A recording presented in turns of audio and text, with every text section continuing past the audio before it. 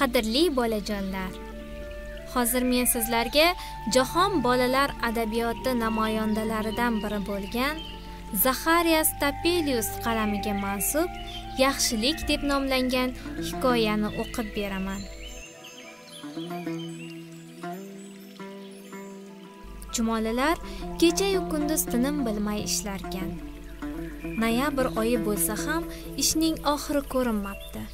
Birinchi galda inga sovuq va shamol kirmasligi uchun hamma teshik va tuynuklarni mahkamlab yopib tashlash kerak ekan. Keyin omborlarni aylanib besh olti oy majburiy tutqunlikda yashashga yetarli don g'amlaganmi yo'qmi tekshirish dushmanning tasodifiy hujumidan saqlanish uchun barcha kirish chiqish yo'llarini yaxshilab mustahkamlash chumolilar yurgan barcha yo'llarni tozalab chiqish birorta qurigan barg birorta zirabcha ham qoldirmaslik kerak ekan. Nihoyat eng baland daraxtning uchiga chiqib u yerdan olamda nimalar bo'layotganini kuzatish kerak ekan. Ayniqsa qishning kelganidan bexabar qolmaslik uchun bulutlarni kuzatib turish kerak ekan. Faqat chumollargina emas. Dunyodagi 94 kvintillion 18 kvadrillion 400 trillion 520 milliard 880 million 954 ming 369 qurt qumursqa qo'ng'izlar o'rgimchaklar kapalaklar ninachilar qishni kutib olish taraddudida ekan. Qani bu raqamni yozib ko'ringchi. Menga xuddi shuncha deb aytishdi. Lekin buning to'g'riligiga kafil emasman. Balki ular atigi 94 kvintillion 18 kvadrillion 400 trillion 520 milliard 880 million 954 ming 368 tadir yer allaqachon qirov bilan qoplandi. Yetti million dona shudring yetti million dona inju yerda sochilib yotar.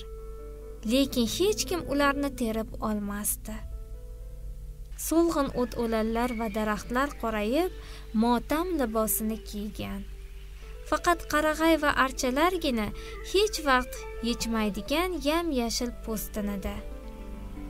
Havoning o'ynoqi farzandlari yellar bulutlar ustidan oppoq momiq zarralarni supurib yerga to'shar edilar.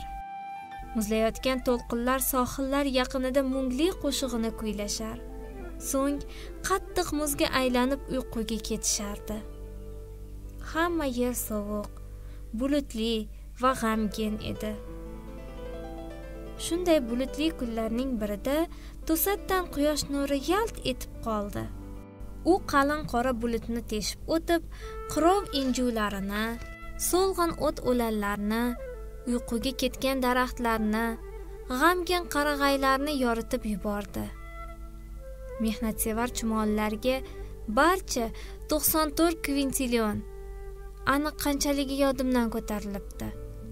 Qurt qumursqa qo'ng'iz o'rgimchaklarga boqibdi. Shu lahzadayoq butun atrof o'zgarib ketibdi. Bu nimasi? deb ajablanibdi boyqush va yorug'dan qamashgan ko'zlarini yumib olibdi. Boyqush baland qarag'ayning uchiga qo'nib olib yo'g'on ovoz bilan kuz keldi bo'ron uvillashini eshityapman. Deb qo'shiq aytarkan. Uning tovushi xirqiroq do'rillagan ekan.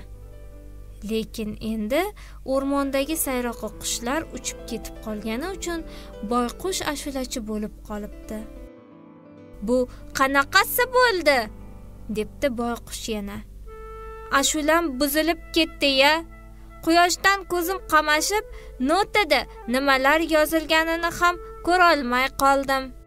Chumollar ham norozi bo'libdilar. Bu nimasi? Deyishibdi ular jahl bilan. Ular o't o'lanlar ustidan zo'r mashaqqat bilan yig'gan qirov injuvlari bevaqt charaqlagan quyosh nuridan eriy boshlabdi. Yo'q bunaqasi sira ketmaydi deb g'udurlashibdi yana chumolilar. Qancha ovora bo'lib yig'gan edik mana hamma yoq loy bo'lib ketdi. Lekin chumollar po'ng'illab so'zini tugatguncha quyosh nuri nariga o'tib ketibdi. U qop qora taqir yerda sirg'alib birdan qurigan tog'terak bargiga cho'liqibdi bu barg ustiga dala chigirtkasi biqinib olgandi. U yoz bo'yi chirillab qishda holi nima kechishini o'ylamay sakrab yurib yurib endi sovuq va ochlikdan chalajon bo'lib qolgandi. Qish tugab yoz kelganga o'xshaydi o'ylabdi quyosh nurida isingan chigirtka.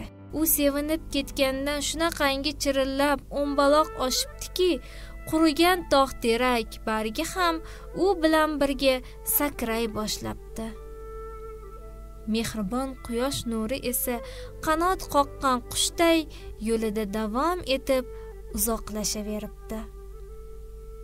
Mana nur muzlagan hovuz ustida sirg'anib uni yaltiratib yuboribdi.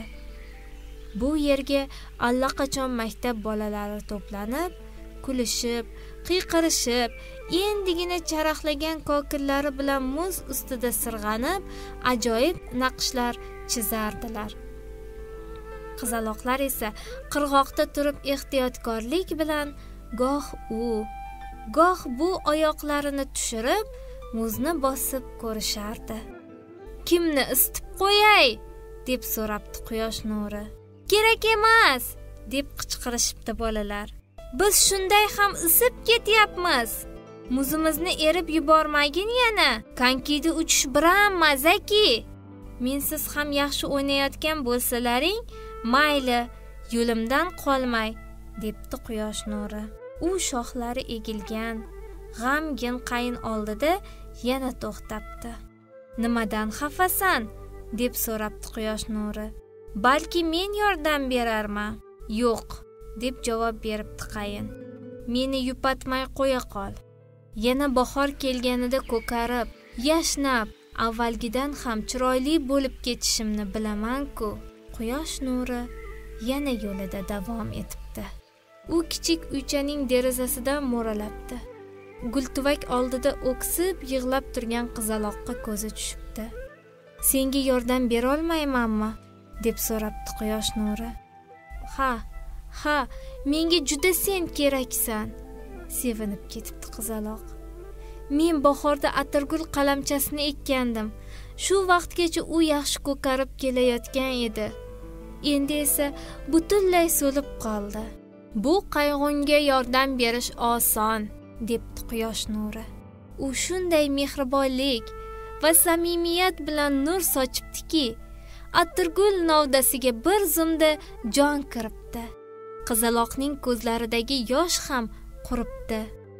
Ko'rishguncha xayr bahorda yana qaytib kelaman debdi quyosh nuri va yana yo'liga ravona bo'libdi. Uning uyga qaytish vaqti yetgandi. Lekin u baribir o'zini tiyolmay yana bir derazadan mo'ralabdi. Bu gal u hamma yoqda narsa sochilib yotgan katta xonaga kirib qolibdi. Javon tortmalari chiqarib qo'yilgan buyumlar uy o'rtasiga tashlangan. Xonada bir kampir uymalashib yurardi.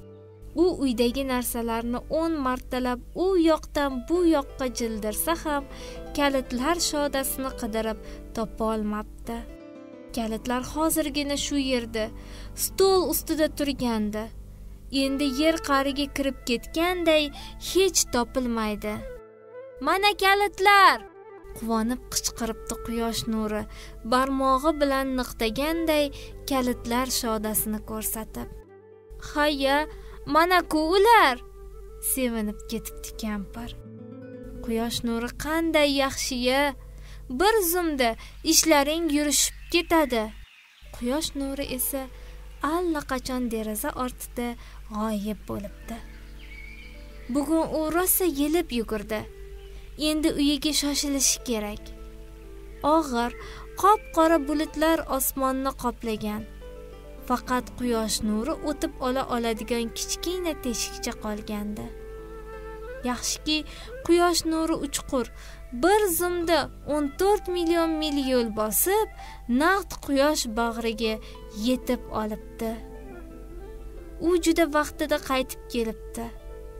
Bulutlar bir biriga yaqinlashib yer yuziga qalin qora parda yopilibdi.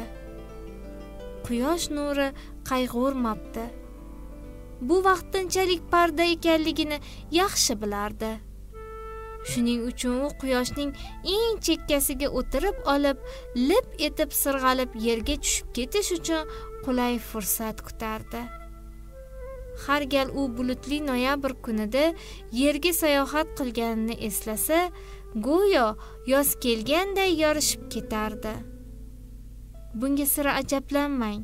Chunki hayotda kimnidir yupatsangiz yoki kimnidir quvontirsangiz demak siz yaxshi ish qilgan hisoblanasiz.